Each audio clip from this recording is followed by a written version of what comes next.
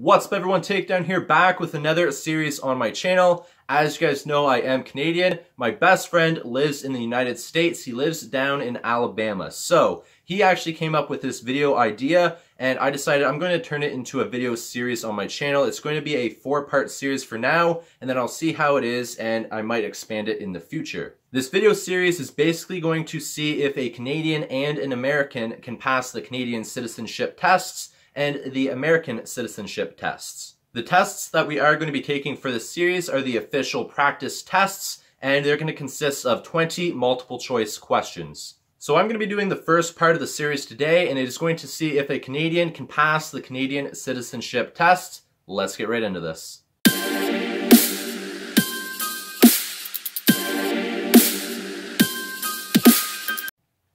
Okay, so I have the first question here. It's actually timed. I got 30 minutes to do it, but I'm assuming it will not take me 30 minutes to do this. So, question one, what are three main groups of Aboriginal peoples? So, a little backstory, I am actually fifth generation Metis.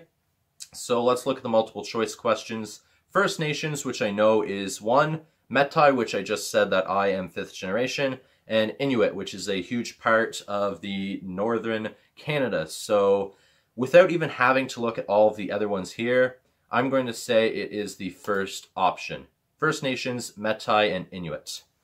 Next question. Who was John Buchan? Uh, a popular Governor General of Canada. Possibly might be that one. A famous Canadian general, I'm going to say no. Canadian Army general, I'm going to say no. First, Fathers of Confederation. His name doesn't ring a bell, so I'm going to use uh, the first one, which is a popular Governor General of Canada. That sounds right to me, at least. When did the House of Commons recognize that the Quebecois form a nation within United Canada? So the Quebecois is a political group, and I think they are the last one that formed. Um, so I'm going to say 1972 is out, 1986 is out, 2001 or 2006. I'm going to just a 50-50 chance. I'm going to say 2006 because they are the least popular group whenever it comes to the elections. And I'm just going to say it's mostly Quebec and French Canadians that vote for them, in my opinion. So I'm going to say 2006. Just a gut feeling there. Who is Marjoie Turner Bailey? I might have mispronounced her first name. Uh, the options are an Olympian and descendant of black loyalists, a famous Canadian settler, I'm going to say no. The first woman to become prime minister, no. And the first Canadian female athlete. I'm going to say no for the last three. It is, I think it is an Olympian. Um, next question. When did English settlement begin in Canada? 1510, 19, sorry, 1497, 1610, or 1720? Um, Canada formed in 1867. I'm going to say 1720 is out.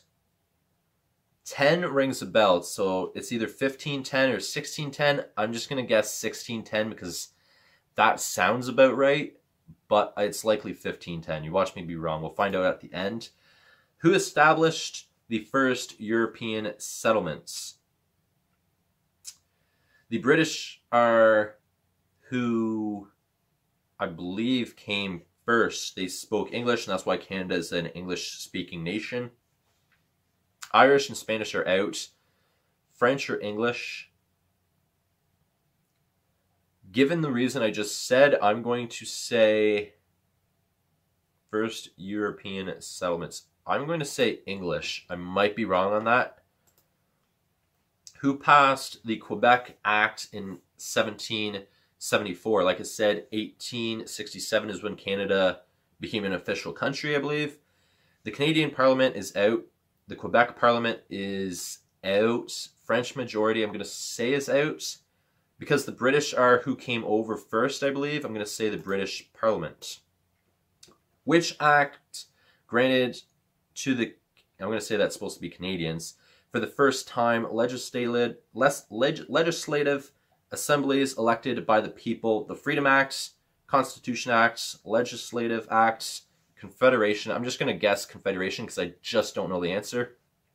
Who was Lieutenant Colonel John Graves Simcoe? Upper Canada's first Lieutenant Governor and founder of the City of Toronto. Lower Canada is not Toronto. Lower Canada is not Ottawa. Leader of the Loyalists. I'm going to say the first one. Upper Canada, First Lieutenant.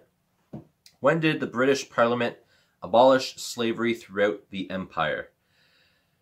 Um, I'm going to say 1793 is out, 1807 is out, and I'm going to say it's down to 1833 and 1853 because I believe it happened right before Canada became officially a country, which is 1867. So I'm just going to guess 1853.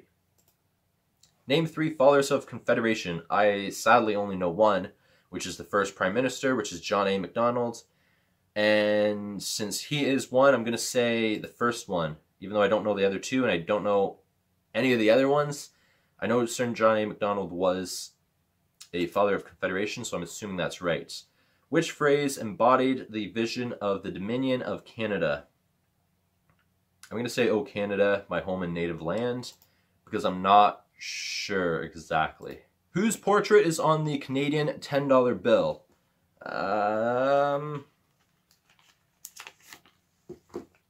this is a Canadian $10 bill, and that is Sir John A. Macdonald. I knew that one. That one is easy. Uh, what made it possible for immigrants to settle in Western Canada?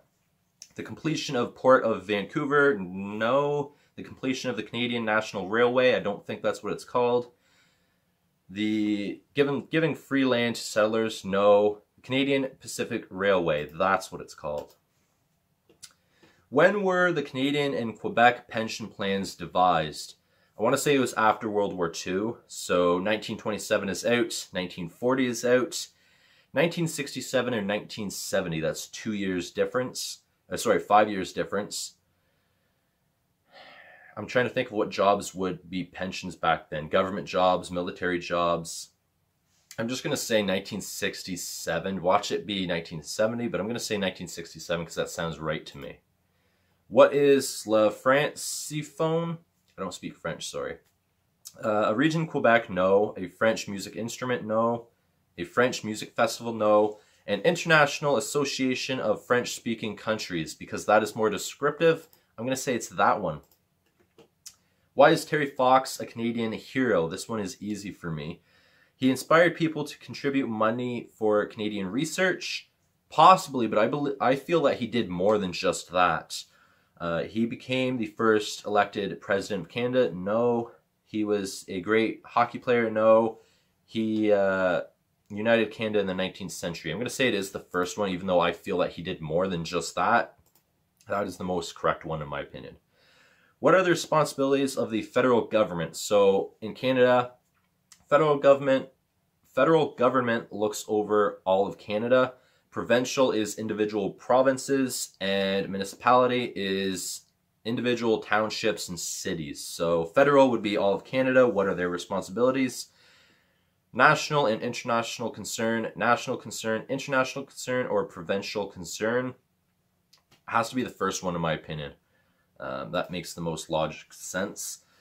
Who has the right to vote in the federal election? A Canadian citizen at least 18 years old on voting day and on the voters list.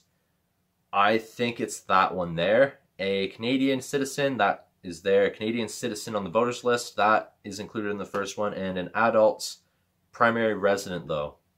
I think you have to be primary resident, but I think that just changed. I'm going to say the first one.